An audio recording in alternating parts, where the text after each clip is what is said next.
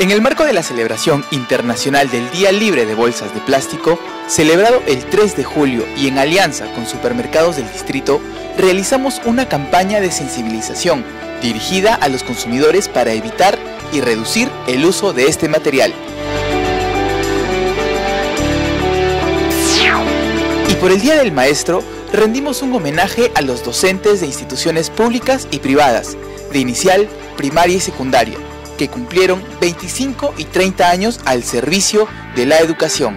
El evento se desarrolló en el Salón de Actos del Palacio Municipal.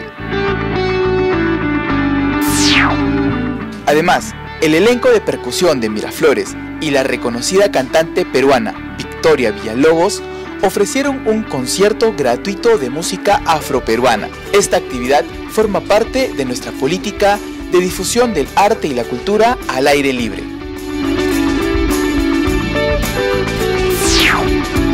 Finalmente, el Centro Cultural Ricardo Palma presenta la reconocida obra Esperando a Godot, que es considerada la más importante del teatro del absurdo. La temporada va de jueves a domingo hasta el 12 de agosto. No faltes. Miraflores, la ciudad que todos queremos.